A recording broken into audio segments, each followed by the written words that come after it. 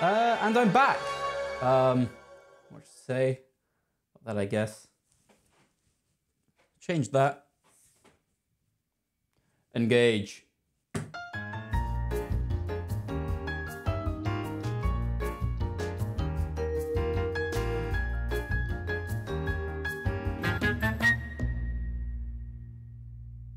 Uh, and I'm back, and today, for my first video back in quite some time now, we are making a cocktail in honor of the greatest captain on all of Starfleet, Jean-Luc Picard. Next, maybe Benjamin Sisko, but um, we can have this debate in the comments. Oh, yes. That's how it starts. But the road from legitimate suspicion to rampant paranoia is very much shorter than we think. So uh, why am I making this video? Why am I making a return to Star Trek? Well, uh, for those of you that know the channel will remember that a few months ago I did Aldebaran Whiskey from Star Trek The Next Generation, uh, which is a recipe that I am still very, very proud of, and you should go back and check that out, that cocktail. It is green. But uh, the video as a whole is very obviously made by someone who knows pretty much next to nothing about uh, The Next Generation. So this video is, uh, you know, this is my, this is me owning up to that mistake and uh, setting the record straight. And since then, I have gone and watched all of Star Trek The Next Generation and Deep Space Nine. And uh, I've got to tell you, uh, The Next Generation, probably one of my favorite TV shows of all time now. Uh, you know, something I definitely should have watched quite a bit sooner. But in that case, why am I making a Picard cocktail and not a Kirk cocktail? Well, I mean, I could. I would just need some uh, bottled Shatner foo, around a few decades worth of missed child support payments, and uh, a toupee for a garnish.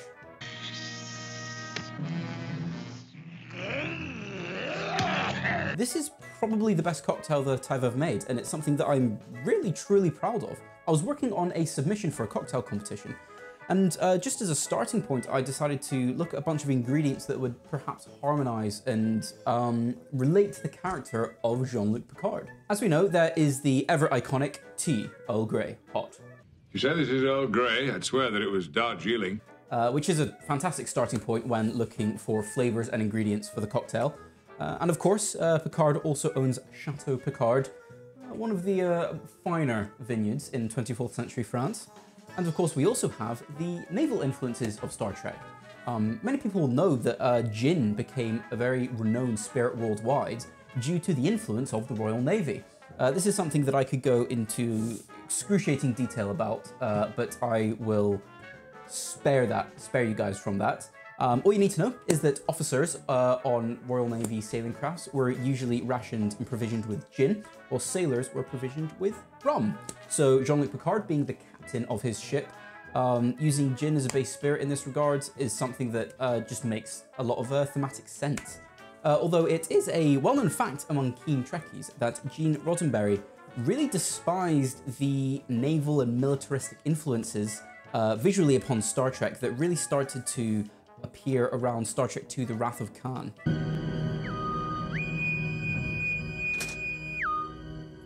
Open the airlock. Permission to come aboard again. Welcome, Admiral. This is an aesthetic and thematic choice which persisted uh, a lot through the mainline movies and something which really comes to a head in Deep Space Nine when Starfleet really acts as a full-blown military force in its war with the Dominion, although the naval influences at that point are pretty much largely gone. Uh, however, coming back to uh, Jean-Luc Picard, captain of the uh, USS Enterprise D, uh, this is a drink that I've uh, created in honor of him and something that I can really just see uh, Guinan, uh, you know, on a slow night and 10 forward, putting something together to honor her friend in his career. So the Picard is going to be a shake and drink, and of course we have the tea Earl Grey hot, which appears in probably just about every single episode of the show. Um, starting from there, I've made an Earl Grey tea syrup. Basically, just brewed some strong Earl Grey tea, mixed that one to one with uh, sugar, uh, just stirred that until it was dissolved, and uh, Earl Grey tea syrup. Fantastic foundation for the flavor base of this. Now, because Picard also owns Chateau Picard, I've also opted to use red wine in this drink. Something which was a bit of a challenge getting the red wine to balance with the Earl Grey syrup because both of them have their own individual strong tannins. And uh, they do work together, but they also want to fight each other a lot, especially in the presence of London Dry Gin, which, of course, mentioning the naval influences of Star Trek, uh, has kind of got to be in there as well. So we have a lot of the floral botanical notes from the uh, from the gin, the Earl Grey syrup, uh, matching with the tannins in the red wine. It's um it's a bit of a wrestling match between uh, all these ingredients, but uh, I've managed to get them balanced, and so this is what we've wound up with. Make it so. Now, uh, just before we get started, uh, this drink will be made in milliliters because there's a bit of a precise balance between some of these, rather than this, just the standard ounces or parts. Um, you can, uh, if you adjust your ratio to be uh, 25 to 1 part, instead of 30 mils uh, to 1 part or 1 ounce, you can follow along, but uh, the best thing to do is just make sure you have some precise measuring tools if you're making this one at home. So to start us off, 25 mils of Earl Grey tea syrup.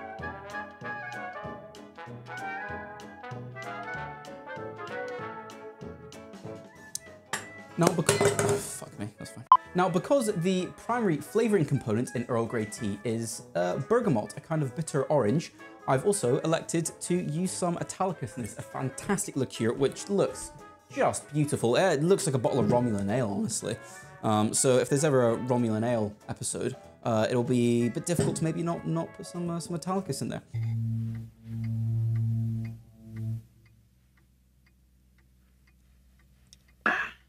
But uh, we need some Italicus, bergamot liqueur, bergamot being the primary flavouring component of Earl Grey tea. Uh, some of this has to go in there. Uh, so 10 milliliters of our bergamot liqueur.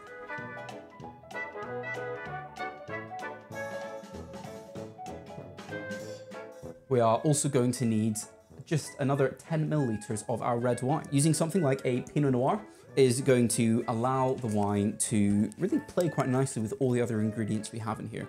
So I've gone for a Pinot Noir in this recipe and I would highly recommend using the same or something similar. I'm no wine expert, so that's as good as I can give at the moment. We are going to need 40 milliliters of a London Dry gin.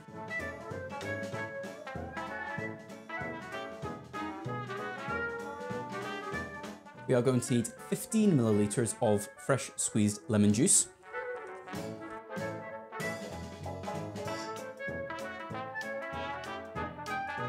So as I say, this is going to be a shaken drink, but it's also going to require an egg white, which will just give us a lovely foam and a fantastic texture. Uh, I'm going to give that a dry shake just to emulsify the egg.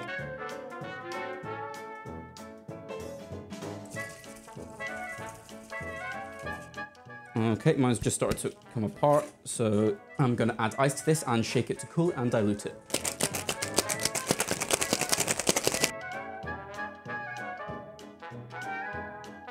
Now, because uh, I want the drink to foam, foam up as much as possible and I'm passing it through a fine strainer, I'm just going to roll it between these two tins, which is just going to add a little bit more air into the cocktail.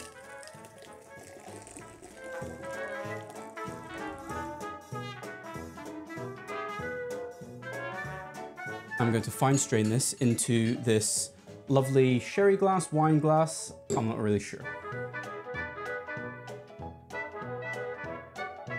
Okay, now uh, because this is obviously a sci-fi themed drink for a fantastic sci-fi character, I'm going to give this a Saturn garnish.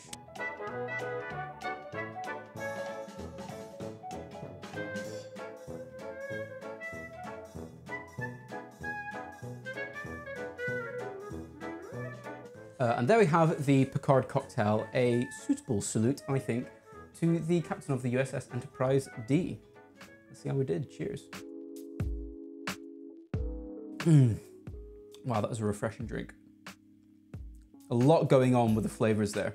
You're sort of immediately hit by the um, by that red wine. It just comes in very, very subtly and mixes with sort of the more um, the more uh, botanical notes of the gin definitely come through here.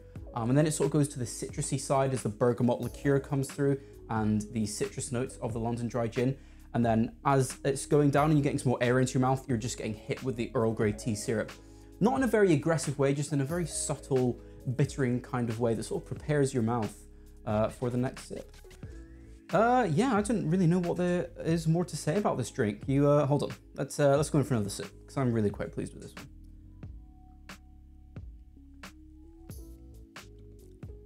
Immediately getting the red wine. Very herbal. Then it sort of becomes citrusy. Yeah, I'm getting the bergamot, I'm tasting the Italicus, I'm tasting the orange and the sort of lemon peels in that gin. And then I'm just getting the faintest bit of Earl Grey as it goes down.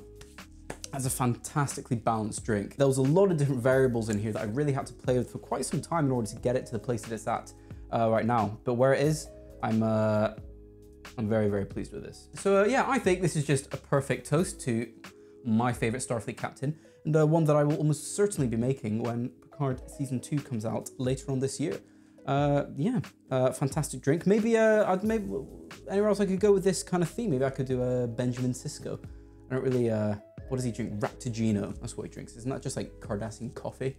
Or a coffee-based uh, coffee-based cocktail, with that one maybe. So yeah, it's always uh, a pleasure when I get to come back and make these videos and upload them to YouTube. This is just, um, this is uh, more than a hobby for me. This is just, I get to talk about all of my favorite things. It's a lifestyle. I love uh, the production of these videos and thank you guys so much uh, for tuning in and leave me comments and any ideas where I could go next uh, with this series.